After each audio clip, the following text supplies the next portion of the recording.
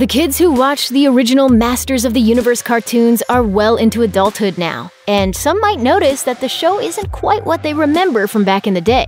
Here are some of the bizarre, hilarious, and worrying things that only adults will notice in He Man's adventures. Being so distracted by all the thrilling action and scary monsters, most kids didn't care about the ideology that fueled He Man and the Masters of the Universe capitalism. But present day parents who are all too used to their kids begging for toys they've seen on TV now recognize that one of the main purposes of the He Man cartoon was to move merchandise. The show kicked off an action figure craze in the 80s, selling hundreds of millions of dollars worth of toys, and every episode of He Man and the Masters of the Universe served as its own 30 minute ad. Many episodes would introduce some never before seen character who just so happened to be now available in action figure form at toy stores. These characters all seem to possess a unique ability or feature that, conveniently enough, really popped when molded in plastic. Take Mekaneck or Buzz-Off, for example. Two characters who can only possibly have been conceived so as to make up a shortfall in the merch budget. There's no other explanation. He Man and the Masters of the Universe was obviously heavily inspired by other shows and movies. After all, a muscle bound guy in a loincloth fighting monsters in a strange world? That's some straight up Conan the Barbarian stuff right there. And that's fine. Conan itself borrowed plenty of sci fi and fantasy tropes, and He Man does the same. That's just how media works. It's just that adults will notice He Man's cribbing is especially lazy. He Man itself is an old phrase that means manly man, while other hastily named characters include a skeleton named Skeletor and a sorceress named the Sorceress. But at least those are mostly innocuous examples. Some of the other He Man characters have names that, well, let's just say they take on a different dimension once you're all grown up. Isn't that right, Fisto? And when Fisto offers you his hand, boy, that's a big offer. There might not be too many people on Eternia, but there are clearly plenty of gyms, since every single character on He Man and the Masters of the Universe is in fantastic shape.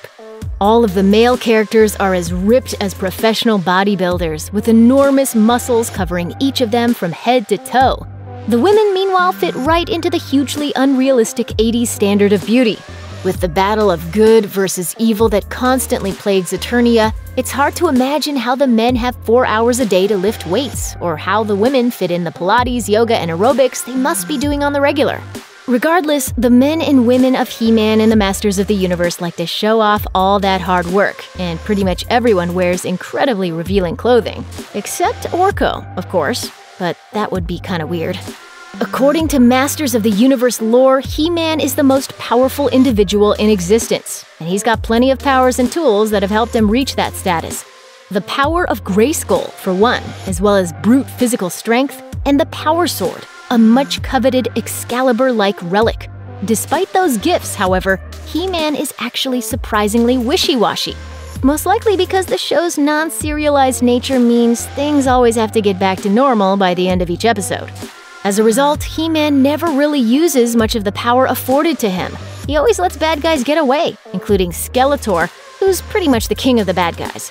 Since he knows he'll be back to fight Skeletor another day, He Man always allows him to flee back to his headquarters from which he can continue his campaign of terror. The show's hero could easily make life better for the people of Eternia by ending his war and killing Skeletor with the power sword the first chance he gets. But then there'd be no more show, would there? Having dominion over a whole planet, or even the universe, is no easy feat, and not even an evil, all powerful sorcerer can do it alone.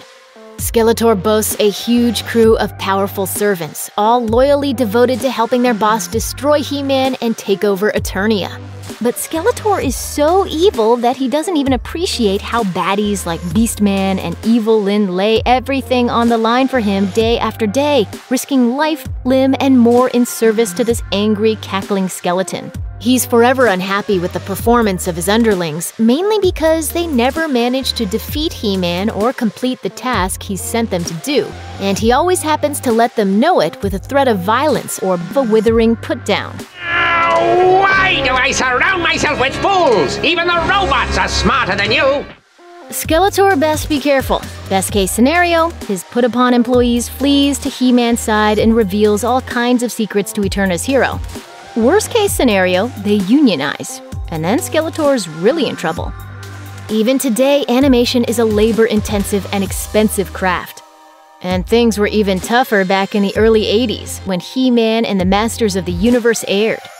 Production company Filmation churned out 65 episodes per season and the crew had to find some shortcuts to keep things running smoothly. Kids with no frame of reference wouldn't notice, but adults with a cynical eye will easily spot the show's cost cutting measures. The same handful of music cues are used over and over, and so are a number of animation sequences. How many times do we see He Man and Battle Cat running or walking, the basic animation of their steps repeated for a good chunk of screen time? And of course, at least once per episode, Prince Adam is going to step in front of Castle Grayskull and gradually transform into He Man. It's a good lesson for kids always recycle. Check out one of our newest videos right here. Plus, even more Looper videos about your favorite stuff are coming soon. Subscribe to our YouTube channel and hit the bell so you don't miss a single one.